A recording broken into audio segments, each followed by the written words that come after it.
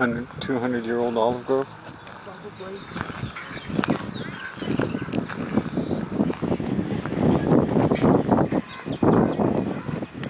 See the umbrella tree at my mom's. Did you smile? Are you going to smile? Oh,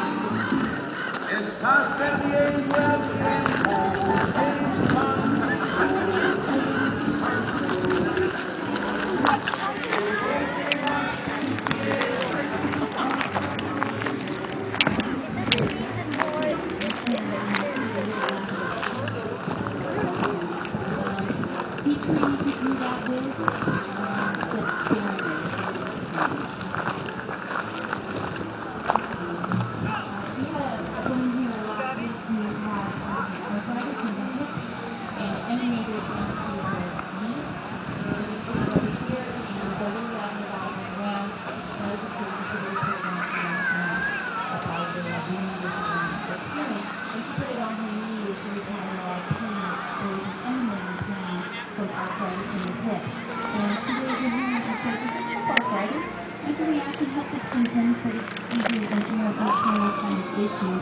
She said, well, my knee's been aching all day and it's gone. It was just gone from her. And then uh, we had another woman who was standing in a red ant pile in flip-flops and got bit.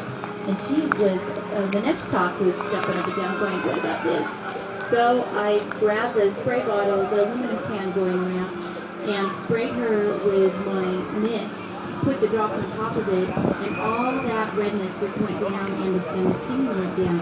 So which brings me to properties for using lavender topically. So two ways into the body for essential oils is through the nose and through the skin. I don't recommend that you ingest them, they're too strong, unless you are, are working with a clinical or medically trained aromatherapist or a naturopathic doctor.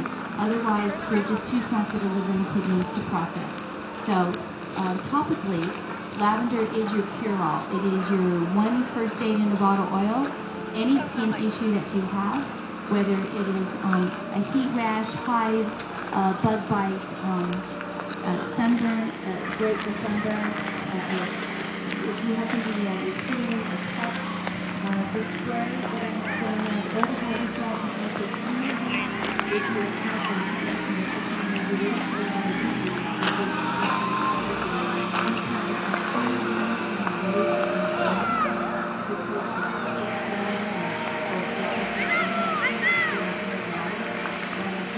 Yeah.